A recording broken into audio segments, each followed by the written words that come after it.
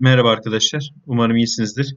Şimdi kalın kenarlı merceğe geçtik. Kalın kenarlı mercekte özel ışınları ve görüntü oluşumunu inceleyeceğiz. İnce kenarlı mercekte olduğu gibi.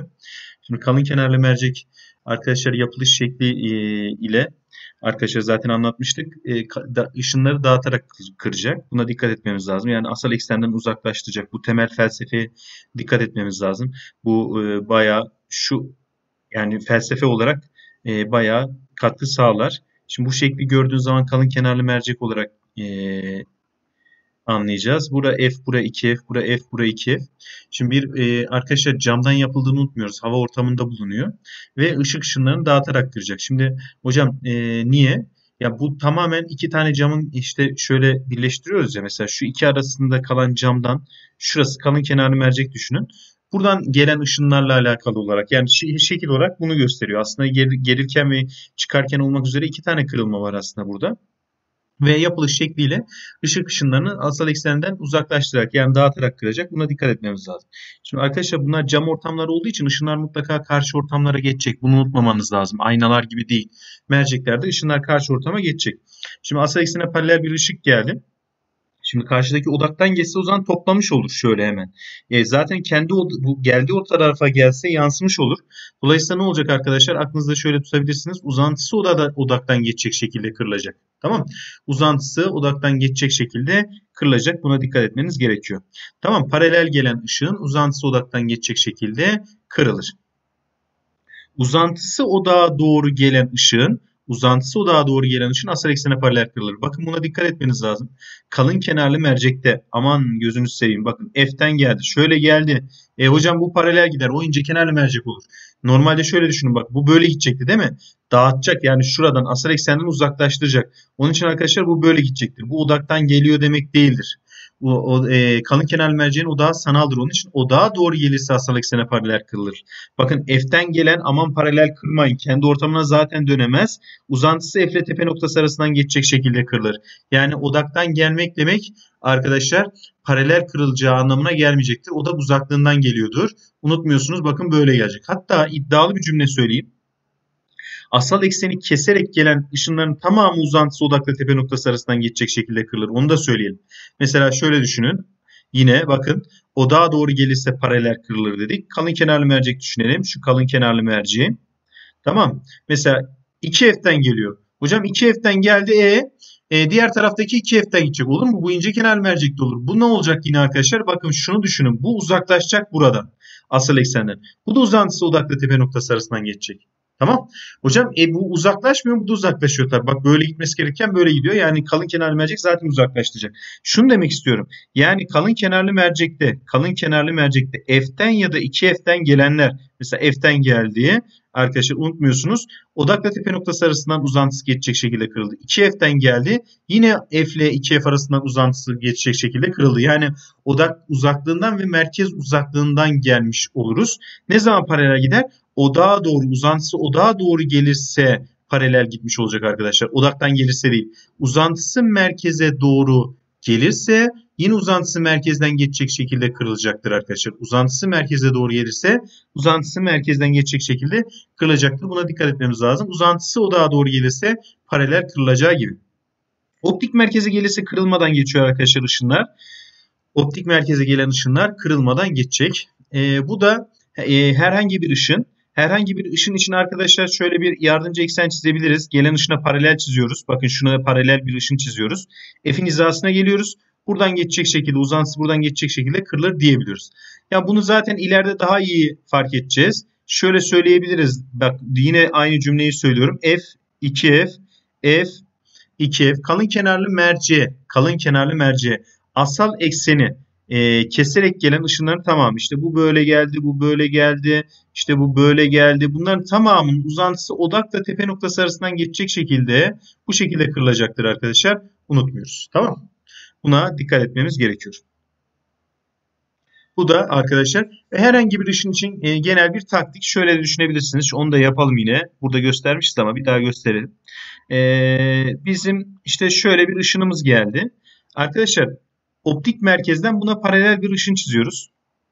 Şöyle. Mavi paralel. Odaktan bu noktaya iniyoruz. Uzantısı buradan geçecek şekilde kırılacak. bu şekilde değerlendirebiliriz herhangi bir ışın için arkadaşlar. Tamam Devam edelim. Arkadaşlar 2F'e doğru gelen uzantısı 2F'den geçecek şekilde kırılır. Bunu biraz önce söylemiştik. Bakın tekrar söylüyorum. Bu 2F'den gelen merkezden gelmiyordur. Merkez uzaklığından geliyordur. Uzantısı odakla optik merkez arasından geçecek şekilde kırılacaktır. Unutmuyoruz.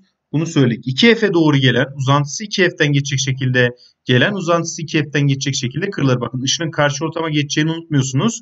İkisinin de uzantıları 2F'den geçiyor arkadaşlar. Şimdi e, biz uygulama alanı sorularımızı çözelim arkadaşlar. Uygulama alanı 5 sorusu. Kalın kenarlı mercekte asıl eksene paralel gelmiş. Uzantısı odaktan geçecek şekilde kırılacaktır. Arkadaşlar F'den gelen nereden gelirse gelsin asıl ekseni buradan önünden kesiyorsa kendisi uzantısı odakla optik merkez arasından geçecek şekilde kırılacaktır arkadaşlar. 2F dediğim gibi 2F uzaklığından geldi. Fark etmez uzantısı odak hatta biraz şöyle olur. Ee, şöyle kırılacaktır arkadaşlar. Hatta yardımcı e, eksen çizerek de yapabilirsiniz. İşte şuradan bir paralel çizersiniz arkadaşlar. F'ten buraya indiğiniz zaman uzantısı buradan geçecek şekilde kırılacak diyebilirsiniz. Tamam Odağa doğru geliyor. Şimdi paralel kırılır. Bakın dikkat edin odağa doğru geldiği için uzantısı odağa doğru geldiği için paralel kırılacaktır. Uzantısı merkeze doğru geliyor. Uzantısı merkezden geçecek şekilde kırılacaktır. Arkadaşlar o e, asal ekseni kesti. Uzantısı odakla tepe noktası arasından geçecek şekilde kırılır. Bunu zaten söylemiştik.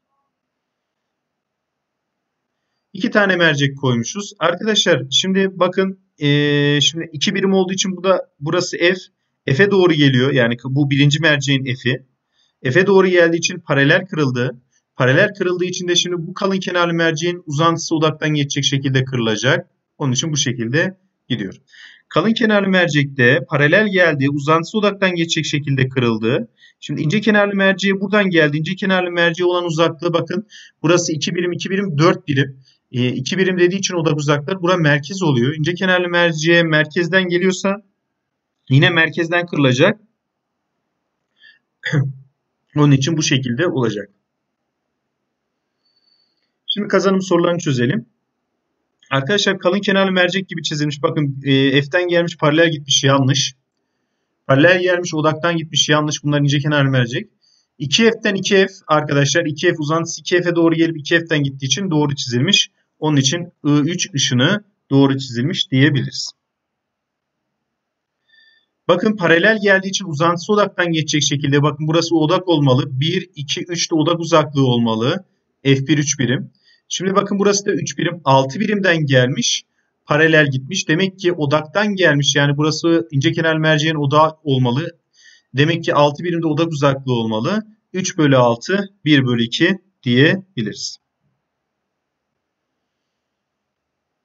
Kalın kenarlı merceği arkadaşlar 2 birimden 2 birim yani eğer paralel gitmemiş yine 2 birime 2 birim gittiği için merkeze doğru gelen yine uzantısı merkezden gidecek şekilde olur. Yani 2 birim merkez dolayısıyla F1 bir birim.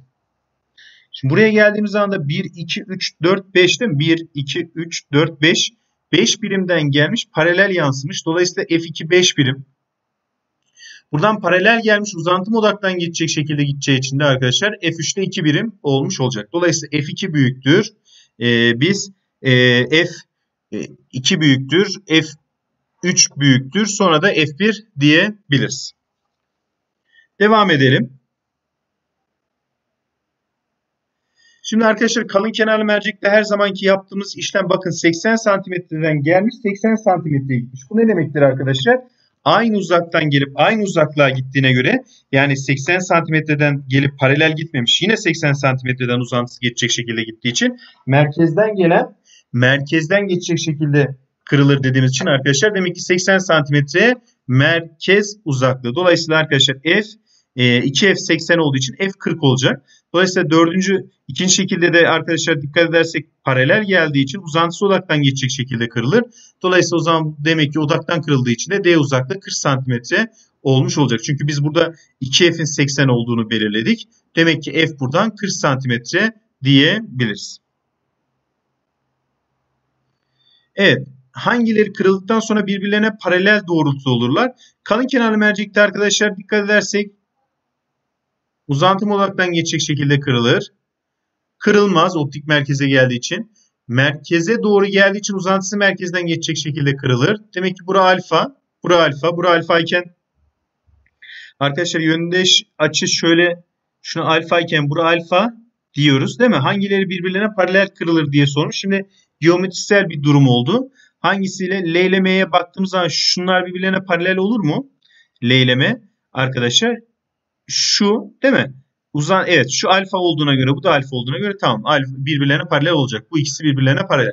Kırılmalarda bir sıkıntı yok. 2F uzantısı 2F'e doğru geldiği için uzantısı 2F'den geçecek şekilde kırılır. E, paralel geldiği için uzantısı odaktan geçecek şekilde kırılır ve arkadaşlar kırılmadan geçer. Paralel olanlarda L ve M diyebiliriz. Şimdi buna geldiğimizde tek renkli ışıklardan hangileri doğru olabilir demiş. Arkadaşlar I2 kırılmadan geçti optik merkeze geldiği için. I1 de asal eksene paralel geldiği için uzantısı odaktan geçmiş olabilir. Arkadaşlar bu bakın dikkat ederseniz böyle gitmesi gerekirken dağılmış.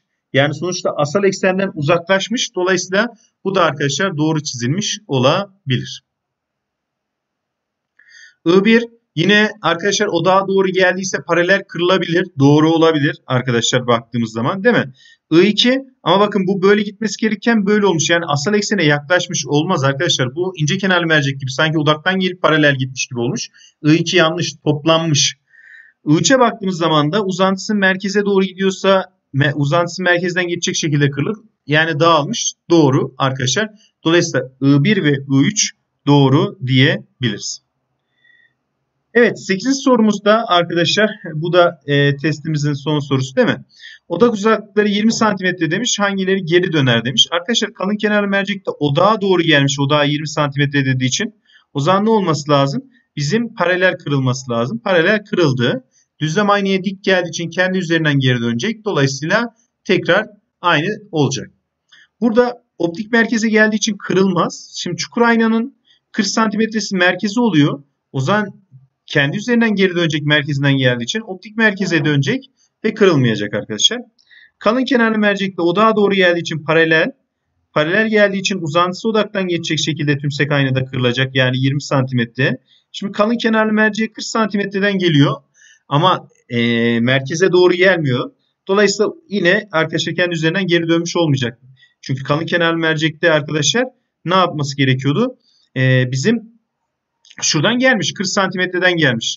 E, dolayısıyla buradan yine dağılarak kırılacak arkadaşlar. Kendi üzerinden dönmüş olmayacak. 1 ve 2, I1 ve I2 kendi üzerinden dönecektir.